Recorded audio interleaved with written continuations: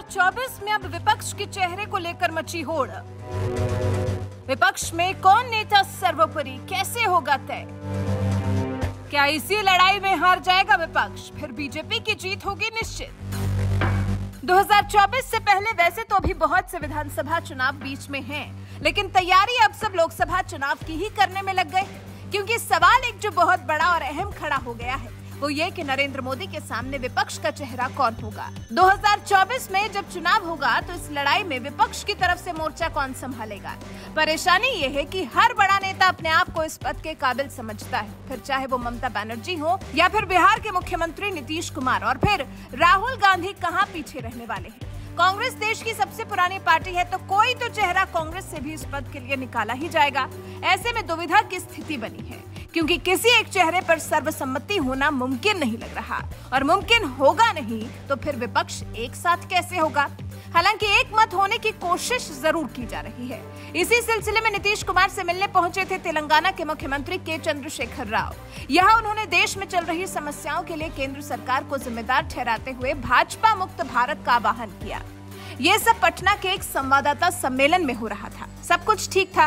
केसीआर के आने से नीतीश कुमार भी जोश से लबरेज थे।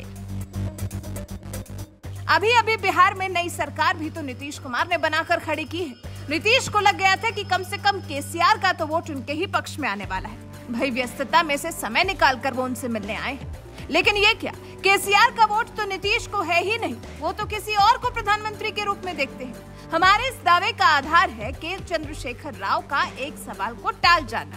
काफ़ी अहम सवाल। केसीआर से संवाददाता सम्मेलन में पूछा गया था कि संयुक्त विपक्ष का नेतृत्व कौन करेगा? क्या उसमें कांग्रेस को शामिल किया जाएगा?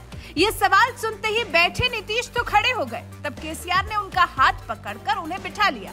और नीतीश कुमार की तारीफ़ तो की। बिहार के विकास में उनके योगदान को लेकर भी कई सराहनीय शब्द कहे। लेकिन वो नहीं कहा जिसे सुनने के लिए नीतीश कुमार उत्साहित थे। केसीआर ने कहा, नीतीश कुमार की इच्छा है कि देश में जितनी भी विपक्ष की पार्टियाँ हैं, उन्हें एक कर देश को भाजपा मुक्त भारत बनाना होगा। केसीआर ने यह भी कहा एनडीए के खिलाफ हम सभी एकजुट हैं और नेता कौन होगा, ये हम सब मिलकर तय करेंगे। हालाँकि कांग्रेस विपक्षी दलों के साथ खड़ी है कि नहीं, इस सवाल को केसीआर टाल गए और कहा, जब सब लोग साथ बैठेंगे, तब इस विषय पर बात होगी। यहाँ दोनों ने मिलकर संघ मुक्त भारत का नारा भी दिया।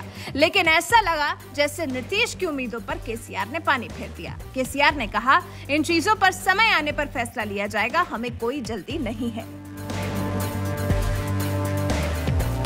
फिर एक सवाल के दौरान केसीआर ने नीतीश को अपने बड़े भाई जैसा बताया। उन्होंने कहा, नीतीश कुमार से इस बात पर सहमति बन चुकी है कि 2024 में किसी भी प्रकार से बीजेपी को केंद्र की सत्ता से बेदखल कर देना है। फिर बारी थी थर्ड फ्रंट वाले सवाल की। तेलंगाना के मुख्यमंत्री से पूछा गया कि हर चुनाव में थर्ड फ्रंट बनाने की बात होती है। क्या इस बार मोदी के खिलाफ विपक्षी पार्टियाँ एक हो सकेंगी? इस सवाल का जवाब केसीआर देते कि इससे पहले ही नीतीश कुमार ने सवाल काट दिया और कहा कि थर्ड फ्रंट नहीं, बल्कि ये मेन फ्रंट बनेगा।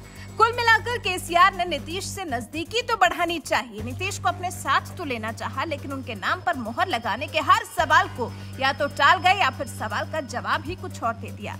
नीतीश की तारीफ़ तो की, लेकिन पीएम पद के लिए प्रोजेक्ट करने के नाम पर चुप्पी साध गए। एक बार भी नीतीश को उम्मीद नहीं दी कि विपक्षी पार्टियाँ एकजुट होती हैं तो नीतीश को ही प्रधानमंत्री के चेहरे के तौर पर प्रोजेक्ट किया जाएगा। ऐसे में नीतीश की जो खुशी थी, वो तो हवा हो ही गई। निराश ही हुए कि केसीआर ने बड़ा भैया कहा, लेकिन माना नहीं।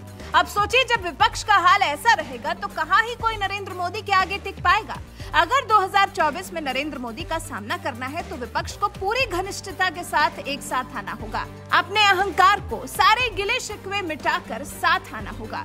नहीं तो फिर विपक्ष का वही हाल होगा जो साल 2019 में हुआ था। अभी का हाल देखकर तो बीजेपी के लिए अच्छे ही संकेत लग रहे हैं कि विपक्ष एक साथ नहीं होगा। ऐसे में फ़ायदा अपने आप ही भाजपा को मिलेगा। आप बताइए, आप इस बारे में क्या सोचते हैं? क्या आप भी इस बात से इत्तेफाक रखते हैं? या फिर आपको लगता है कि इस बार नरेंद्र मोदी के खिलाफ विपक्ष कोई कमाल तो ज़रूर दिखाएगा। इस पर आपके विचार हमारे साथ ज़रूर साझा करें।